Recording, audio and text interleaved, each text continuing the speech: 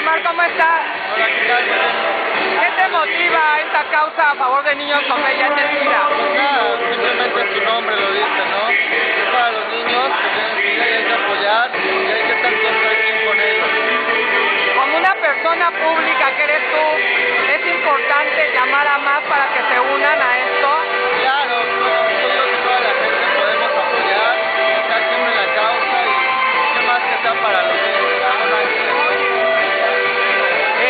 proyectos a corto plazo. Ahorita estamos en el proyecto de